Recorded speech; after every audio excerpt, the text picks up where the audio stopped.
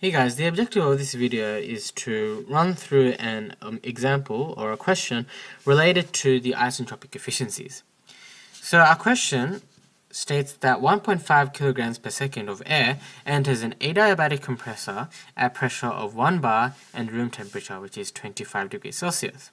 So if the air is compressed to 8 bar, calculate the actual work required to drive the compressor if it has an isentropic efficiency of 90%. Also calculate the rate of entropy generated. So if we have our diagram over here, we have that the pressure at the initial state is going to be 100 kilopascals, and the temperature at the initial state is going to be 25 degrees Celsius, and since we are working with air, which is an ideal gas, this needs to be in Kelvin.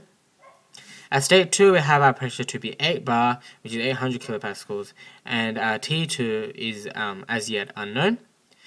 We also know, due to the steady state steady flow assumption, that the mass flow rate going into the system has to equal to the mass flow rate going out of the system, and since the mass flow rate going into the system is only at state 1, and the mass flow rate going out of the system is only state 2, it follows that m1 dot is going to equal to m2 dot.